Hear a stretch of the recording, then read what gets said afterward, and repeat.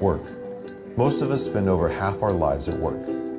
Whatever it is you fill the 9 to 5 with planting crops, building cars, taking care of patients, teaching students, or running a business work is where most of life happens. For some, work is a drain. They dread Monday mornings, forcing themselves to struggle through because they need the paycheck, while many times feeling trapped and beaten down by their job. Some people love their work. They're good at what they do, it energizes them. It's a place of security, a place to chase dreams, desires, and success. At work, they find fulfillment. We often forget to connect our faith to our work. We don't consider the reasons God may have us at our job.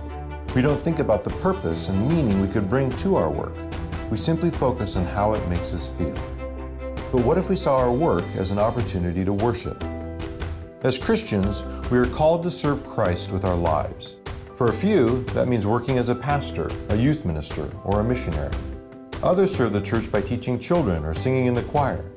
But when Sunday is over, most of us return to our jobs outside the church. For us, our mission is in the marketplace. We may not be the kind of missionary who moves to the far regions of Africa, but around the conference table, around the water cooler, around the cubicle, we have an opportunity to worship the God who created us. He gave us skill, He gave us passion, He gave us work. When we do our jobs with excellence and integrity and diligence, it's an act of worship. We are displaying God's craftsmanship to the non believing world around us. We are earning the right to be heard. We don't see a divide between Sunday and Monday, between the sacred and the secular. We've been invited into parts of the world that a pastor or traditional missionary will never see.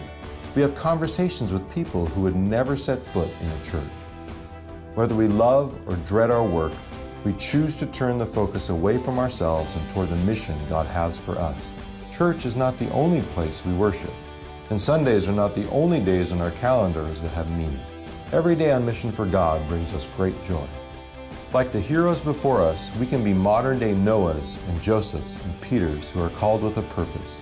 God has designed us. He created us to work and to worship. For us, work is worship. On February 23, 2018, over 2,000 churches across the country are hosting the first ever Work as Worship retreat. Please join us and other business leaders from your church and your community. Speakers will include Patrick Lencioni, Matt Chandler, Joel Manby, Phil Vischer, and many more.